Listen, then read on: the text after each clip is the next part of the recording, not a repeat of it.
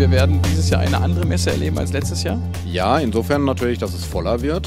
Insofern, dass ähm, mehr Dortmunder Unternehmen die Chance wahrgenommen haben, äh, tatsächlich die Dortmunder Maim auch als die ihre anzuerkennen äh, und äh, dort auszustellen.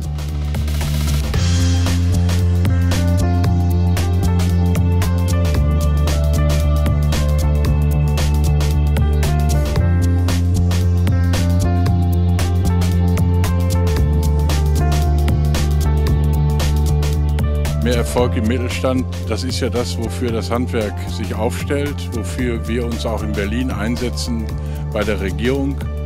Und äh, hier erlebt man es jetzt praxisnah.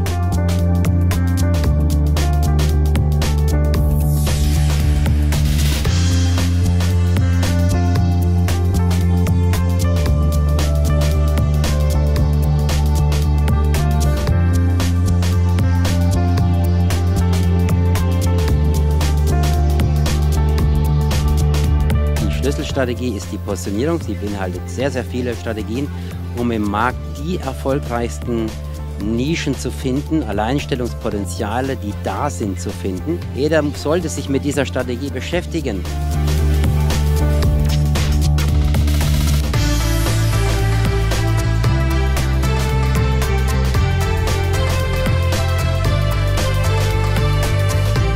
Also gut gefallen hat mir, dass ich sehr viele Informationen bekommen habe.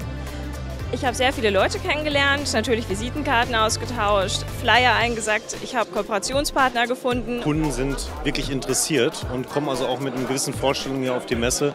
Und äh, das ist schon eine sehr nette Sache. Es gab heute zwei Vorträge von dem Herrn Peter Savtschenko und die fand ich sensationell. Ich finde, dass man wirklich sehr äh, schnell Kontakte äh, knüpfen kann. Ich finde, die Messe hat genau die richtige Größe, ist nicht zu groß, nicht zu klein.